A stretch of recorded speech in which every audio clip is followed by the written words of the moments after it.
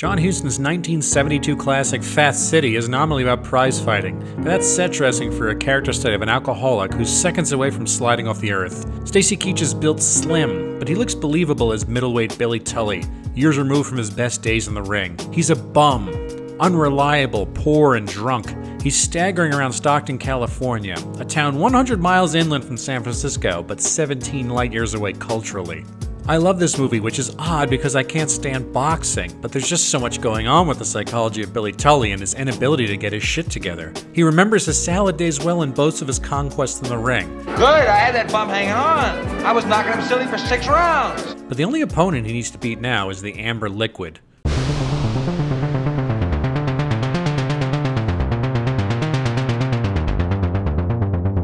Before I get too far into this, I have to highlight the incredible performance of Susan Tyrrell as Oma Lee Greer, another drunk on Skid Row who winds up as Tully's codependent enabler. Tyrrell got an Oscar nomination for this part, yet somehow lost to Eileen Heckart's performance in Butterflies Are Free. Tyrrell is only one of two women with any lines in this typically Hustonian male-heavy film, but she does so much to counterweight testosterone with her delicate rendering of wilting flower Oma. She flits around from one man to another, with few internal resources to stand on her own. After meeting Tully in the bar for only the second time, it's just a matter of moments before she sees in him something she needs like oxygen. I love you so much. Billy Tully has a foil character in here as well. Ernie Munger, played by the disarmingly boyish Jeff Bridges. Munger is hungry to punch and win, but he lacks a killer instinct in the ring. As Tully is on his way down, I guess Munger is on his way lateral. This isn't a typical Star is Born trajectory, but it works here.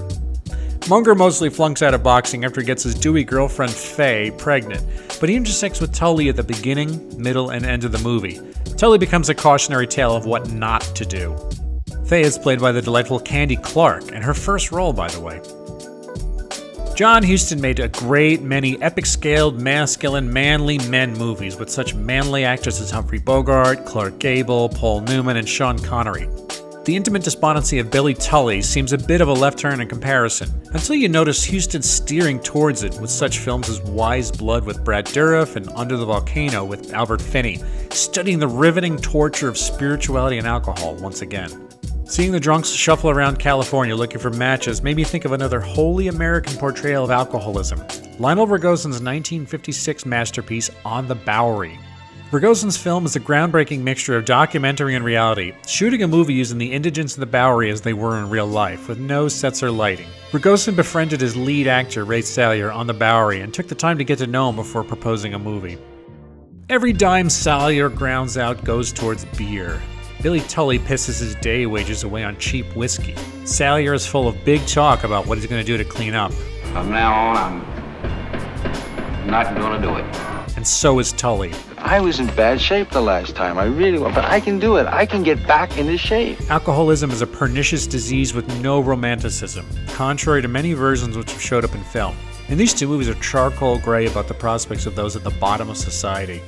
Ray Salyer actually drank himself to death just a few years after on the Bowery, and it's easy to see his impending fate. At the conclusion of Fat City, Ernie Munger sees the slurring Tully on the sidewalk trying to hustle a match. In a brilliantly acted moment, Bridges realizes what he sees and tries to get away.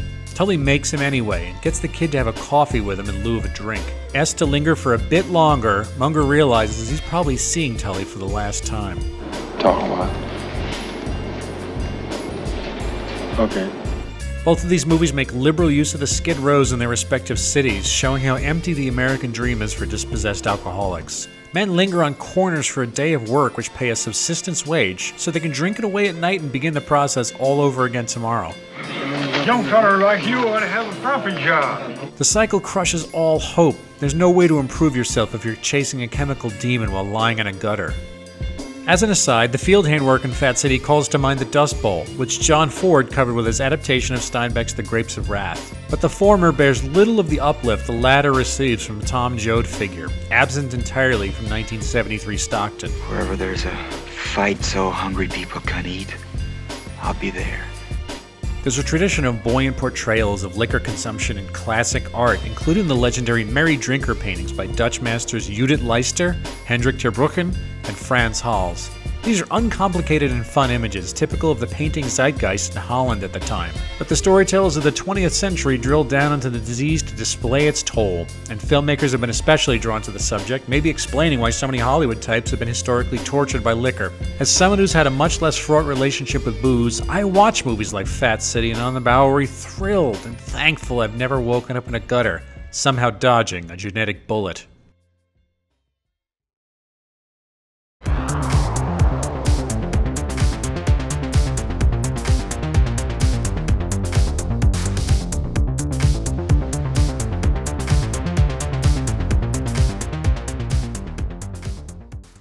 Finest in men's neckwear since 1982.